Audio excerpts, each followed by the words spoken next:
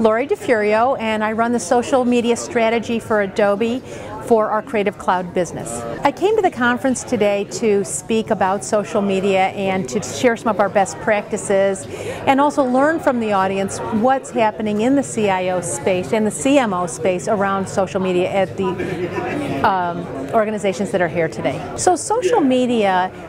social communications, if you will, was critical to the uh, rollout and the announcement that we would be moving from our classic um, box approach to our tech, our software to a cloud-based approach and subscription.